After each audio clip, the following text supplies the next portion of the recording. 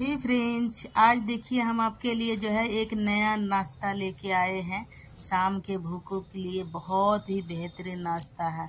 शाम को जब भी आपको भूख लगे तो आप इसको बिल्कुल झटपट और आसानी से बना सकते हैं। शाम के नाश्ते में लोग कचौरी, समोसे, चाउमीन, मोमोज खाते हैं। उससे तो कहीं जगह अच्छा ये नाश्ता है।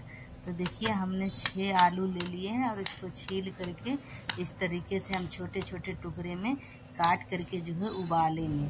उबालने के लिए तो चाहते तो हम कुकर में डायरेक्ट उबाल सकते थे, लेकिन उसमें क्या है ना, ज़्यादा उबल जाता ना आलू तो फिर वो अच्छा नहीं बनता, जो रेसिपी हम बना रहे हैं। उसके लिए जो है, बस इसी तरीके से जो है, बिल्कुल धीरे धीरे पकते हुए उबलेगा ना तो बहुत अच्छा बनेगा ये रेसिपी तो देखिए, हमने जो है, उबालने के लिए जो है, इसको गैस पे चढ़ा दिए हैं। अब इसको पंद्रह मिनट में जो है ना, ये बिल्कुल अच्छा से जैसा मुझे उबला हुआ चाहिए आलू, उस टाइप से मुझे मिल जाएँगे पंद्रह मिनट में। तो चलिए, देखिए, आलू उबल चुका है हमारी। अब हम इसको थाली में निकाल के, देखिए, ठंडा कर लिए हैं। अब इसको एक गिलास के मदद से जो है, अब इसको जो है बिल्कुल भरता बना लेंगे। और भरता बनाने के बाद जो है ना, इसमें हम मसाला ऐड करेंगे। तो मसाले के रूप में देखिए, हमने जो है तीन चम्मच जो है आरा रोट लिए हैं इसमें, और जो है थोड़ी आधी चम्मच देखिए लाल मिर्च ले लिए हैं, और वहीं पे स्वाद अनुसार जो है नमक डाल रहे हैं।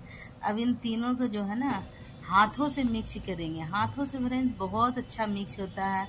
ऐसे किसी चम्मच वगैरह से मिक्स करो तो उतना मज़ा से नहीं होता है। इसीलिए हाथ से मिक्स करिएगा।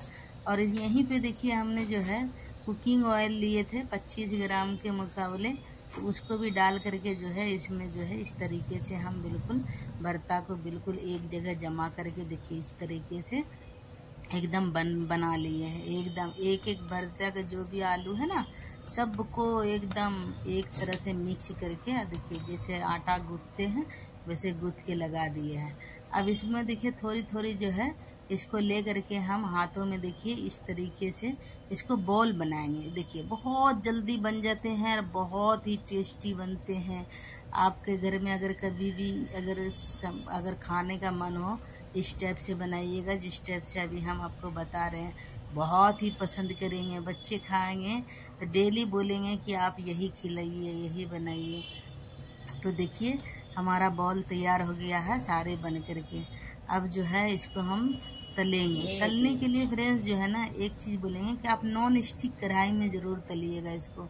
हम तो स्टील की कढ़ाई में तल रहे हैं लेकिन आप नॉन स्टिक में तलिएगा। नॉन स्टिक में क्यों है ना बता रहे हैं क्योंकि ये चिपकते ज़्यादा हैं। आलू के इसीलिए जो है ना नॉन स्टिक में चिपकेंगे नहीं। हमने देखिए, इतना बॉल बनाए है ना, इसमें से हमारा पाँच छः चिपक करके ख़राब भी हो गए थे। तो हमने उसको जो है हटा दिए। उसको बाद में हमने पराठा बना करके यूज़ कर लिए। बाकी जो है, आप नॉन स्टिक में बनाइएगा तो एक भी ख़राब नहीं होंगे। तो देखिए फ्रेंड्स इस तरीके से जो है ना, सब आप बना लीजिएगा।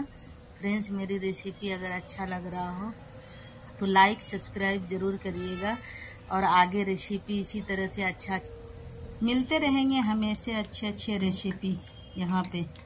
देखिए हमने निकाल लिए हैं सारे बॉल, और अब देखिए सर्विंग करके दिखा रहे हैं आपको।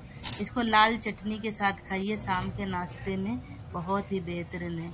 ठीक है फ्रेंड्स आज के लिए इतना। अगले रेसिपी में मिलेंगे।